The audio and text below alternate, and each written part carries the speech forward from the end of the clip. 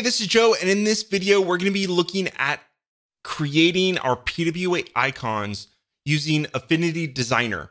Now, I'm going to be using Affinity Designer, but this also applies to Affinity Photo. Both workflows are identical. So we pr- we provide templates for both apps. Um, you can actually, I think, open up the files in either app, um, but the workflow is identical no matter if you're using Affinity Photo or Designer. So without further ado, let's go ahead and jump in and create a super simple icon and show you how to export that. So here we are in Affinity Designer, and you'll notice that I've already had some pre-baked layers. And the important one here is this create icon here layer. Okay, so anything inside this group should be where your icon is designed.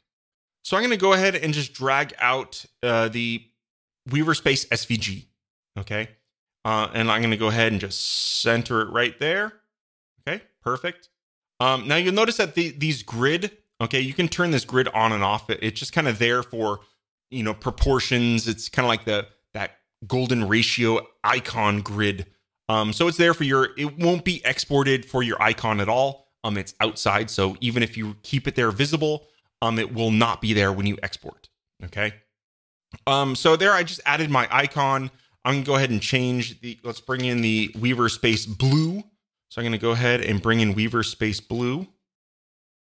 Go ahead and copy that color. We're gonna paste that right there. And boom, there is my beautiful, amazing Weaver Space logo on the Weaver Space Navy Blue.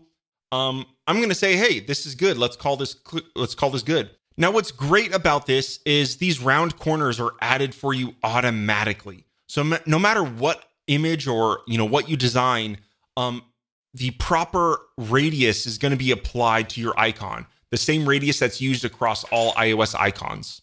Okay. Um, to kind of illustrate that, let's go ahead and I'm just going to hide the Weaver Space logo, and let's add or let's just add this uh, foundation one. Let's go ahead and you'll notice that if I just make this really big, um, obviously I'm blowing it up past um, its size. What you'll see here is even though the image is large, it gets cropped to the proper, um, you know, rounding. So, um, yeah, really, really cool. This makes it really, um, you know, dummy proof so that, you know, when we export this, we get the exact shape that we need. So go ahead and uh, I'm just going to delete that. Let's turn back on our Weaver Space logo. And uh, let's show you the export. Okay, so what we're going to do is up at the upper left-hand corner, we're going to go to the export persona. It's the third button. Okay, we're going to click that. What you'll notice here is we're now in Affinity's export persona. And what I've done here is I've already created um, an export persona that contains all of the sizes that we need. So what I can do is go ahead and all you have to do is click these export slices. And I'm going to go ahead and um, I'm going to export this to my desktop in the PWA, and let's just say export.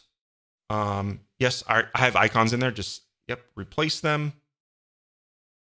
And if we look at that folder, you will see that now I have all of the icons that you can then use to drag and drop into your RapidWeaver project file.